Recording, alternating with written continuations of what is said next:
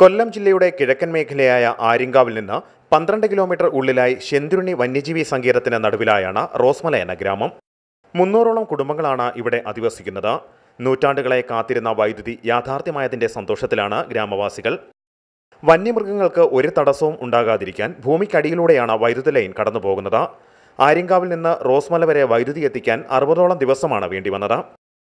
സംസ്ഥാനത്ത് തന്നെ ആദ്യമായ വന്യജീവി സൗഹൃദ വൈദ്യുത ലൈൻ യാഥാർത്ഥ്യമാക്കാൻ മൂന്നര കോടി രൂപയാണ് ചിലവായത്. മണ്ണനവിളക്കിൽ നിന്ന് സോളാറിലും തുടർന്ന് ഇപ്പോൾ വൈദ്യുതി ലഭിച്ചതിന്റെയും സന്തോഷത്തിലാണ് പ്രദേശവാസികൾ. വൈദ്യുതിയുമായിട്ട് ബന്ധപ്പെട്ട് ഞങ്ങൾ കുറേ കാലങ്ങളായി ഇങ്ങനെ ആഗ്രഹിച്ചുകൊണ്ടിരുന്ന ഒരു കാര്യമാണെങ്കിലും ഇത്ര പെട്ടെന്ന് ഇത് വരുമെന്ന് ഞങ്ങൾ വിചാരിച്ചില്ല.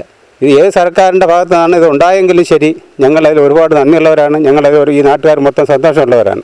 അപ്പോൾ ഇനി അടുത്ത റോഡിന്റെ പണി ഏകദേശം ആയി എന്നാണ് അറിയാൻ കഴിഞ്ഞിട്ടുള്ളത്. അപ്പോൾ അതുമായി ബന്ധപ്പെട്ട് റോഡ് വൃത്തിയാകും.